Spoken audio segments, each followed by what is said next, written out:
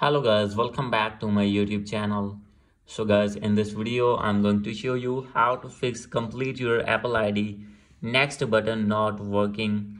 So guys when you have complete your apple id or want to verify your apple id in your iphone or in your ipad and facing this type of issue that when you have enter all the information as you can see city postal code and phone number as well.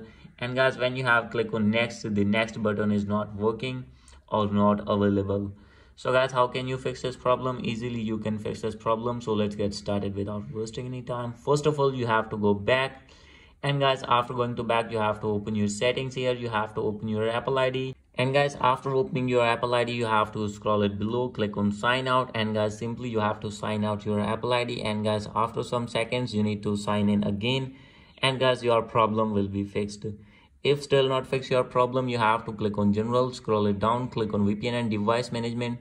So guys, if you have connected any VPN, you need to disconnect that VPN. After doing this, you have to reset your network settings. Maybe there is network problem on your device.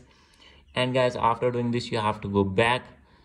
So guys, now you need to check that and you need to log in again your apple id and check that your problem has been fixed or not. So guys if still not fixed your problem no need to worry. You have to open an internet browser. And guys here you need to search support.apple.com so guys after searching this you have to wait. From here you need to select your gadget. Like i am using iphone therefore i have selected iphone. Scroll it below. And guys after this you have to click on get support. Click on start now and you need to wait for some seconds. So guys simply you have to wait and guys you will find this type of interface. Click on more and you need to scroll it down. Click on app store.